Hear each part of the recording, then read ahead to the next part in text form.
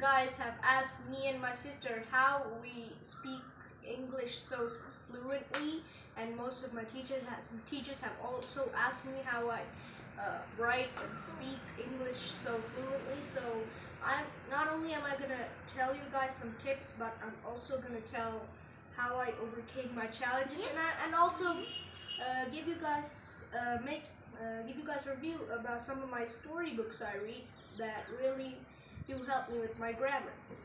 Um, uh, so let's start with the review of the books. Then I will tell you some tips on how to improve English spelling, English spelling, grammar, and all that good stuff. So the book series is called Roald Dahl, as you can see here. Roald Dahl is actually the name of the author of the book series. Uh, uh, there's about, let me count, 1, 2, 3, 4, 5, 6, 7, 8, 9, 10, 11 books right now here with me, but there's uh, but there's a lot more books than that. Like uh, there's 16 books total, and I got like uh, 11 books, I think. So these are actually really good literature books. If there's any literature students watching this, I would highly recommend reading some of these books. They're actually really entertaining and uh, have actually good literature and uh, uh, really good English grammar that would help any student at all. Uh, let's start with some of my favorite books of the series. I like this one is yeah. Me too. This one is called Roald Dahl the Witches. It's actually really deep in detail and it's all it's about witches. It's so funny. Uh, it's not that funny. I mean, you haven't read the book. Uh, it's about witches and about a child and his grandmother just embarking embarking on an adventure about witches. I think. Yep. Yeah, this is one of my favorites. Me, me too. And the next one is Matilda. I don't. Me I think most of you have heard of this book. It's about the TV. uh, yeah, I think they watched the movie, I guess.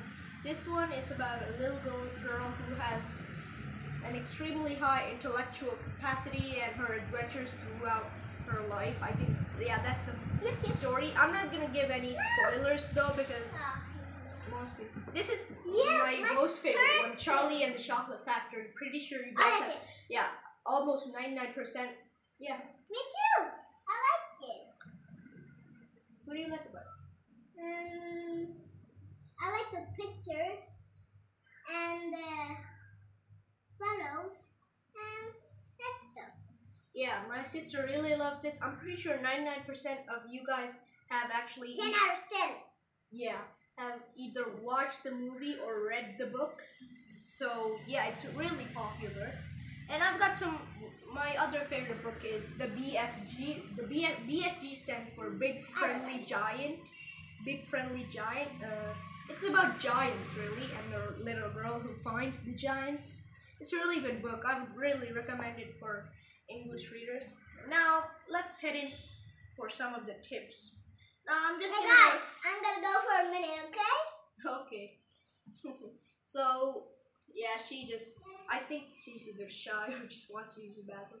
So uh, with my personal experience, most of the time, some of these like really good literature English books are translated into English so people can read them easier.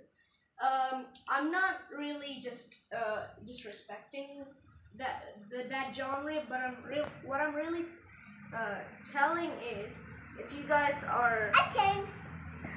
if you guys really want to improve your English skills, pronunciation, spelling, that kind of stuff, Yep. uh, especially books like Roald Dahl and Harry Potter, I would really recommend actually reading the English version of the book. So if you if there's anything you can't understand, I like this fox Uh, one. Yeah, it's really cute. Uh, I would really recommend actually using the English book. If there's anything you don't understand, either search it up on a dictionary or even internet, the best source. Uh, yeah, uh, I've seen This a lot. This looks a lot beautiful. The pictures. I love the. I don't know about that. So yeah, uh, I've seen a lot of people reading popular books like Harry Potter and whatnot in in a Sinhala translation. I'm not saying I disrespect those guys, that kind of people, that Wait kind minute, of genre a of books, minute, but minute. I think if you use the English version instead, you will not only improve your English skills but also your uh, yeah this your literature book. sk- skills. Uh, out of the Roald Dahl series, I actually got like for my fifth grade birthday, I actually got a Sinhala book. I mean, it's not bad. It's the same story, but in Sinhala. Um, it's kind of old, as you can see. It has like It's bored. yeah, it's folded and stuff.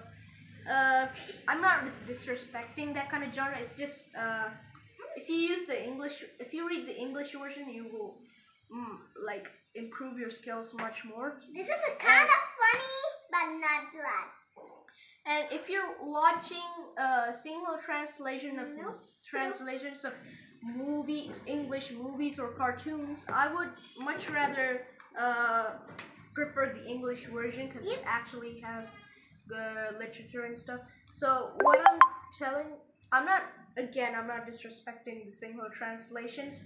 I'm just saying if you guys want to improve your skills, uh, either watch the English original English versions of the movies and TV shows, or just read the original Engli- English versions of the books of books Yeah. like Harry Potter and Roald Dahl. I've actually seen a new Sinhala translated version of Diary of a Wimpy Kid, and I I'm not lying. We I have gotten to our film today.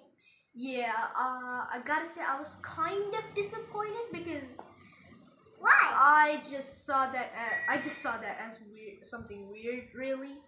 Uh, so what I'm actually saying is just try the English versions of these books. Yeah. It will actually help you change your cool. lives. So what do you have to say? Like the other book, the English one, but the Sinhala one is not funny. And this all of these books, my favorite ones, this and this and this and hmm and this. Yeah, That's all my books. even though she My can't read, she just loves the illustrations of these books. That's why she's just picking out. So, anyways, uh, just keep those tips in your mind if you ever need them. So, anyways, uh, Charlie too and me. yeah, uh, we'll come back with a video later on. Yep. So, Bye.